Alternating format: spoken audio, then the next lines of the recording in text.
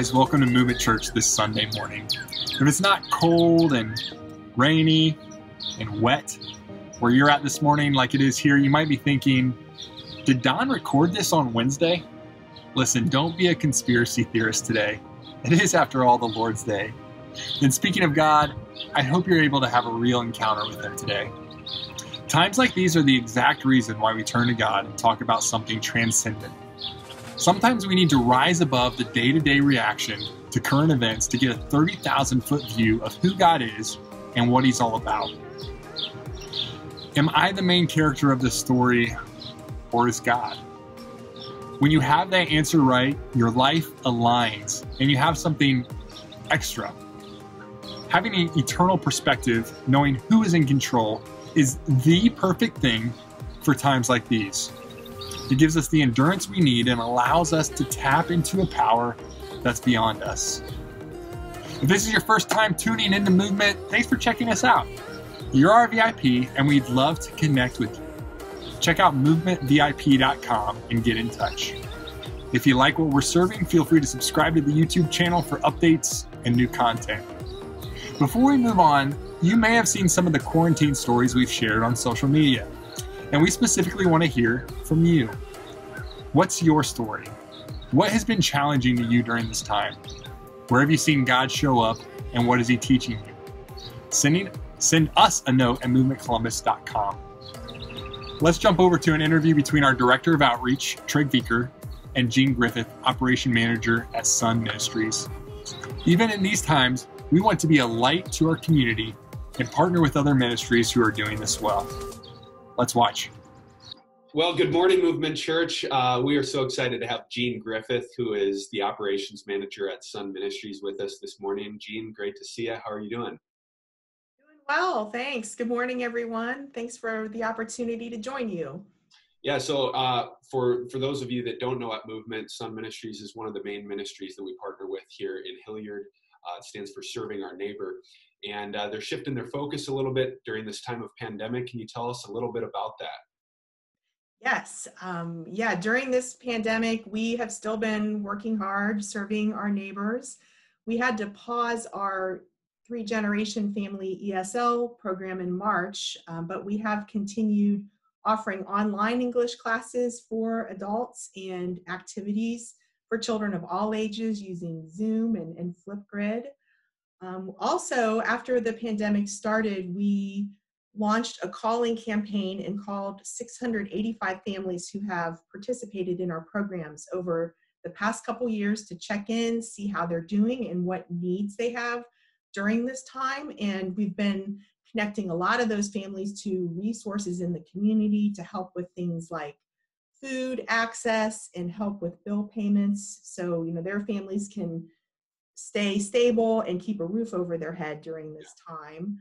Um, also, we are working to redesign our summer lunch camp. We're committed to feeding children as we have for the past 13 summers. And um, we are going to be offering grab and go lunches through the summer for children and also launching a virtual camp to attend to children's social and emotional and mental health needs where we'll be coming to them daily with interactive online activities led by their favorite camp staffers and volunteers.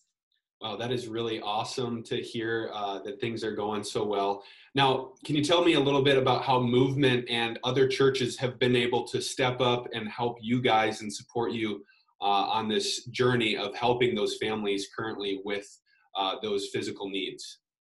Yes, yes. Um, in Movement, you've been a great partner of ours serving this community for a long time. And more recently, um, you've really stepped up to help us um, you know, with specific families that we're working with who have very tangible needs during this time. Um, you've been able to help several of our families with rent payments and utility payments um, just to take that, that burden off of them during this time. And um, your prayers and support have meant so much. There are several churches and organizations in the community that we're partnering with in this way. Um, that are able to help you know, through their benevolence funds, um, helping families with some of these needs during the pandemic. That's awesome. So, would you suggest if people want to give continuing uh, towards those needs that, that uh, giving directly to the benevolence funds or giving directly to the church uh, that can provide those needs to you guys would be the best way to do that? Or are there other ways they can support you financially? Um, yeah, e- either either way is fine. I mean, giving directly to the church benevolent funds is very helpful, or um, donations directly to SON Ministries can also help us as we prepare for summer lunch camp and you know the costs associated with feeding children and the activities for children. Um, so you know both of those things are, are very helpful during this time. Now, speaking of that summer lunch program, obviously it's going to look a little bit different this summer. But for those watching right now who are thinking, you know, what can I do? Uh, how can I get involved uh, with that uh, mission this summer? Uh, what would you say to them? Okay, well, we are excited. There will be lots of ways for people to get involved this summer. One thing that you can be doing right now is to pray, um, pray for the staff and volunteers, um, pray for the children who will be attending the program. And then we will have a lot more information soon about ways that people can volunteer and partner with us through this program, both on the food distribution side and also on the online activities. We've talked about having you know, enrichment packets or activity bags that we can send home with the children to supplement the activities that we're doing online. So um, check our, our website, which is son-ministries.org, and also our social media because we will have lots of updates very soon um, about ways to get involved and would, would love to, to see you this summer. That is so awesome. Well, thank you for being with us this morning. Thank you for encouraging us. And we are so excited that we get to continue to partner with you guys at SON Ministries. Yeah, that's that's awesome. Thank you so much for for all your support and your partnership.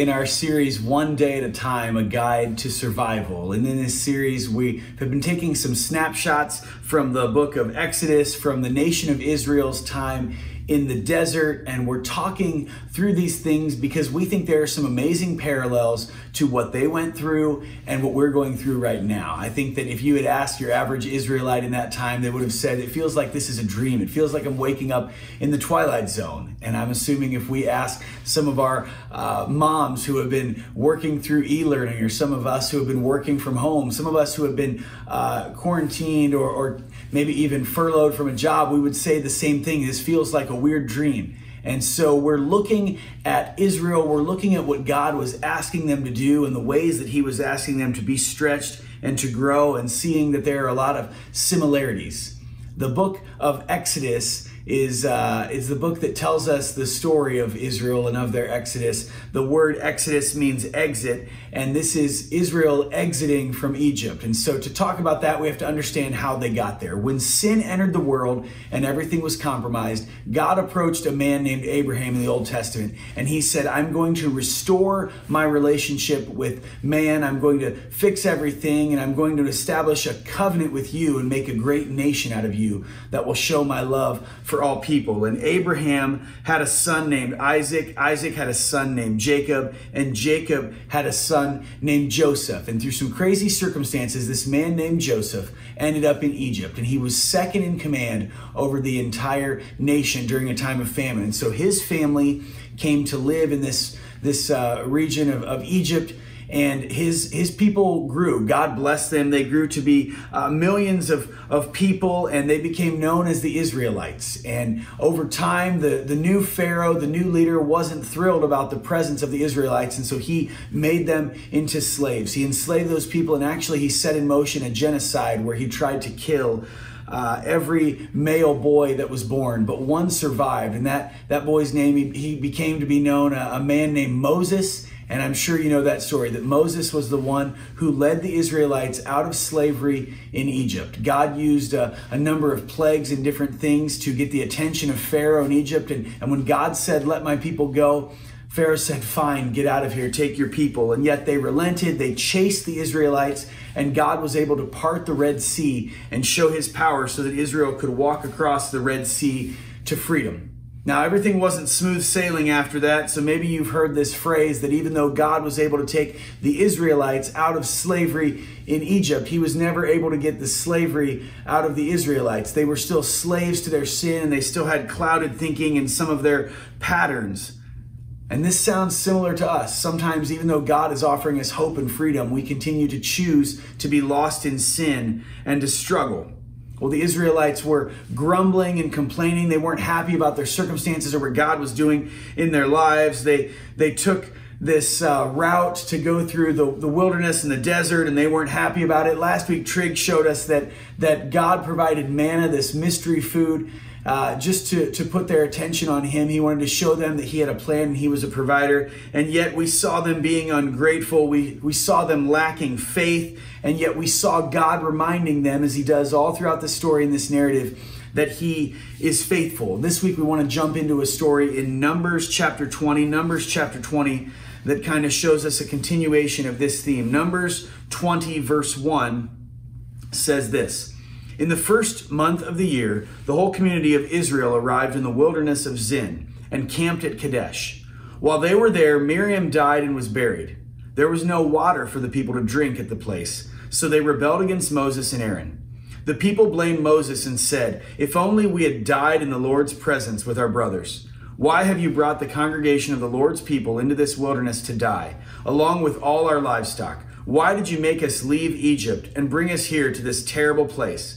This land has no grain, no figs, no grapes, no pomegranates, and no water to drink.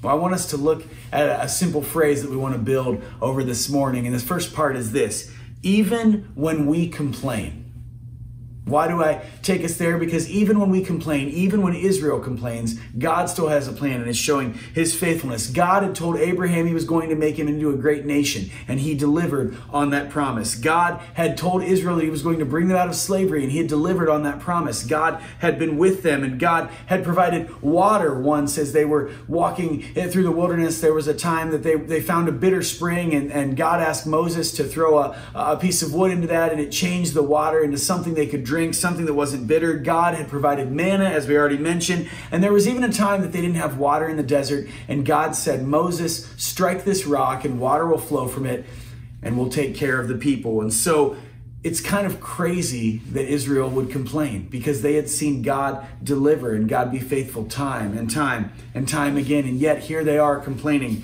in this story. Well, let's jump back into verse 6. It says this Moses and Aaron turned away from the people and went to the entrance of the tabernacle, where they fell face down on the ground. Then the glorious presence of the Lord appeared to them, and the Lord said to Moses, You and Aaron must take the staff and assemble the entire community. As the people watch, speak to the rock over there, and it will pour out its water. You will provide enough water from the rock to satisfy the whole community and their livestock. So Moses did as he was told. He took the staff from the place where it was kept before the Lord. Then he and Aaron summoned the people to come and gather at the rock. Listen, you rebels, he shouted. Must we bring you water from this rock? Then Moses raised his hand and struck the rock twice with the staff, and water gushed out. So the entire community and their livestock drank their fill. Let's remember that phrase we're building. Even when we complain, and let's add this, and don't listen even when we complain and don't listen. Now, why do I say that? Because God gave some instructions to Moses in this instance, and Moses didn't listen. God said to speak to this rock, and water would come out. And what did Moses do? Well, Moses hit the rock. Maybe he hit the rock out of anger. Maybe he hit this rock because it was what he had done before and what he had success with. But the, the key point is this Moses didn't listen. I think it's important for us to pause and know this that simple faith is obedience to what God is currently asking you to do. Simple faith is obedience to what God is currently asking you to do. I don't know what God is asking you to do. I don't know the circumstances and the struggle that you're in, but I know this God is always asking us to trust Him, to rely on Him, and to put our faith in Him. And oftentimes, just like the Israelites, we fail to do that. We need to listen to what God is asking us to do. It might not be exactly like what you've done in the past. You might want to trust what you've done like Moses, but we need to listen to what God is asking us to do. You've relied on yourself, and God is asking you to rely on Him. You've had success, but God is asking you to rely on Him. Maybe you're scared to trust God, and yet God is saying, I want you to rely on me and not yourself, not your own courage. I've told you before this story at Movement Church, but when God was calling us to be church planners or people that would start a church, one of the, the things, the inner conversations that I was having was I, I didn't know if I if I wanted to do that or if it was time. God, God was pretty clear and, and spoke to me when I was in high school, put it on my heart to be someone that started churches, that started churches, that started churches. And yet I was on staff at another church before Movement Church and I was well taken care of. I was provided for. I was comfortable. Things were successful and, and things were going great.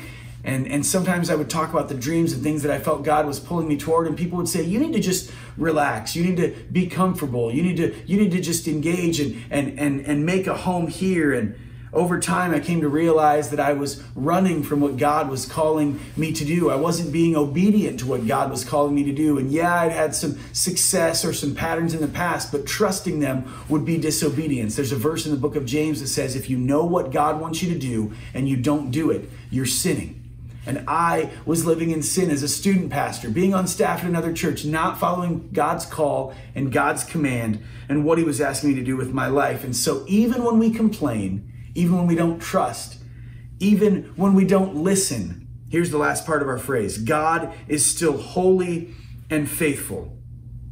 I don't know what God is calling you to do right now, but God still wants to be a part of your story and wants you to know that He is holy and faithful to you through the person of Jesus.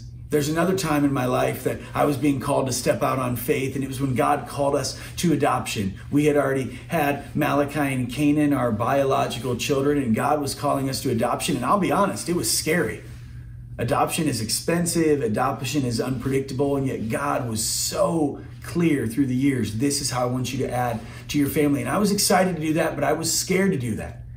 And yet, even when we're scared, even when we complain, even when we don't listen, even when we drag our feet, God is still holy and faithful. And so let me ask you this this morning Are you complaining?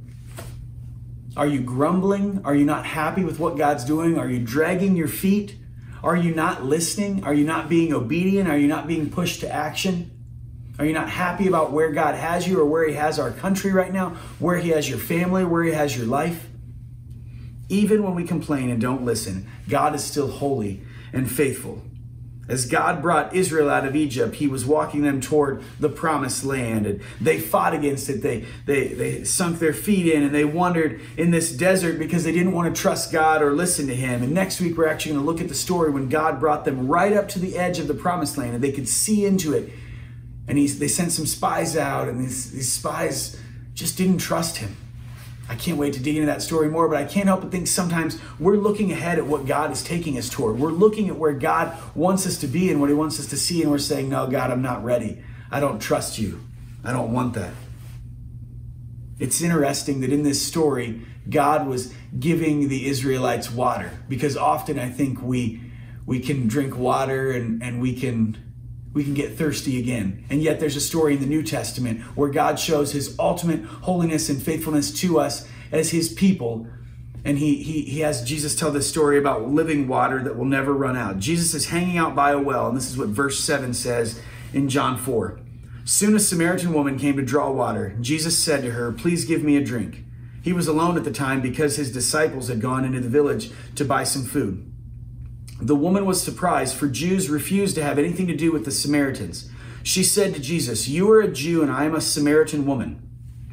Why are you asking me for a drink? It's true that men and women wouldn't have interacted much back then, and certainly not a Jew with a Samaritan, and yet Jesus is illustrating that his love has no boundaries, his love pursues us, and his love cannot be stopped. He's showing this woman love. He's extending peace and hope to her through the gospel. And Jesus says this If you only knew the gift God has for you and who you are speaking to, you would ask me, and I would give you living water.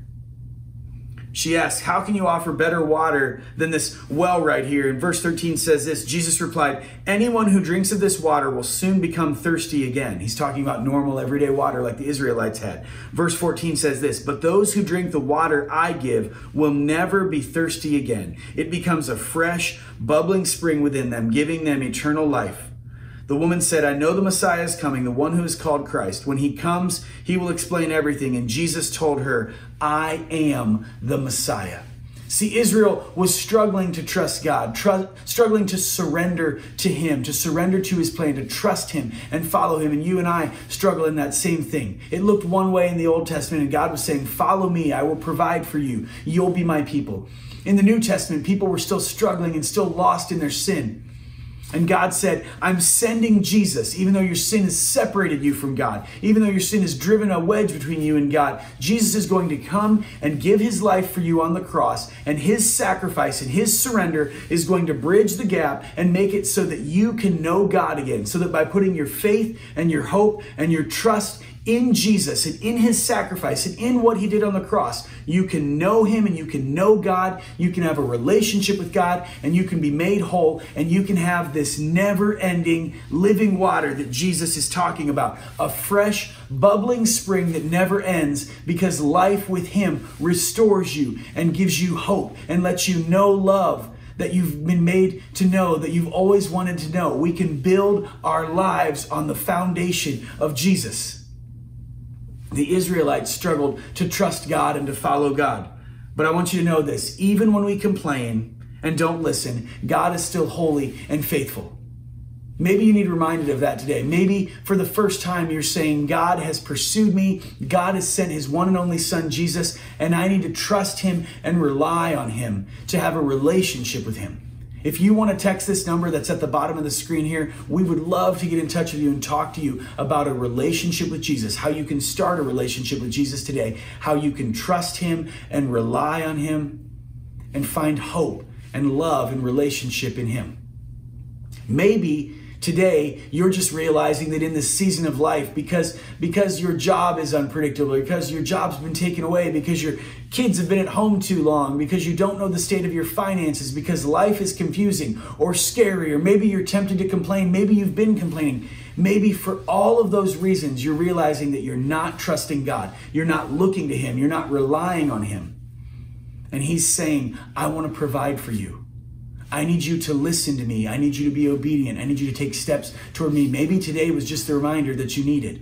That even when we don't trust, even when we complain, even when we grumble, even when we're mad, even when we don't want to listen, God is still pursuing us. And we can turn to him, we can we can we can pray to him, we can have a relationship with him and we can know his faithfulness, we can know his holiness through the goodness of his son Jesus.